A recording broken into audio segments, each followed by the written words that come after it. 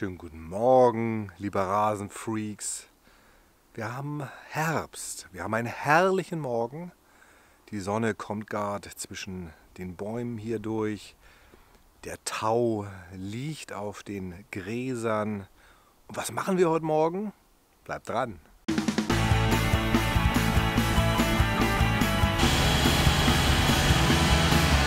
Wer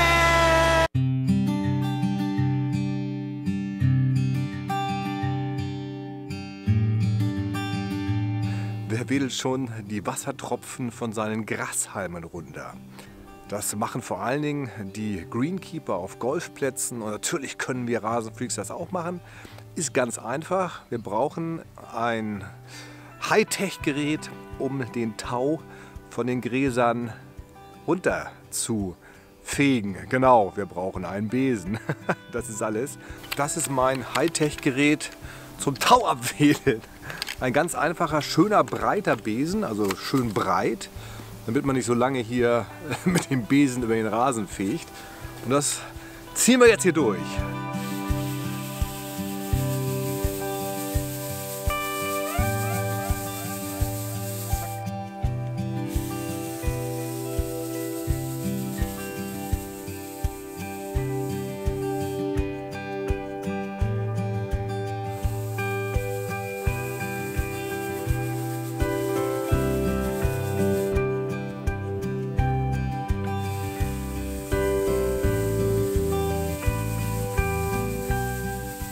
Da wo der Tau auf den Gräsern liegt, sieht das also gräulich aus und so, so hell.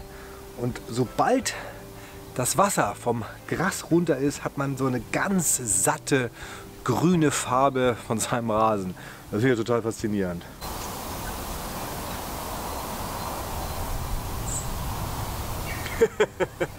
ja, total einfach.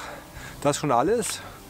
Und dann kann die Sonne aufgehen und wenn dann die Sonne aufgeht, dann wird das Gras wieder richtig gleich schön von der Sonne gewärmt. Eine Sache, die ich auch immer wieder höre, ich weiß nicht ganz genau, ob sie richtig oder falsch ist, vielleicht hat ja jemand mehr Erfahrung als ich, diese kleinen Wassertropfen auf den Grashalmen sollen bei starker Sonneneinstrahlung, wir haben ja noch richtig schöne sonnige Tage jetzt im Herbst, äh, sollen dafür sorgen, dass das Gras geschädigt wird, dass durch diese kleine Kugel, durch diese kleine Wasserkugel, das Wasser wie so ein, wie so eine, wie so ein Brennglas wirkt und das Gras schädigt. Also, ja, es gibt auch einige Stimmen, die sagen, es ist Blödsinn. Also deswegen äh, wischen wir das Wasser nicht äh, von den Grashalmen runter, sondern vor allen Dingen, um die Feuchtigkeit in den Boden reinzukriegen und äh, keine Nässe, keinen Nässestau in der Oberfläche zu haben.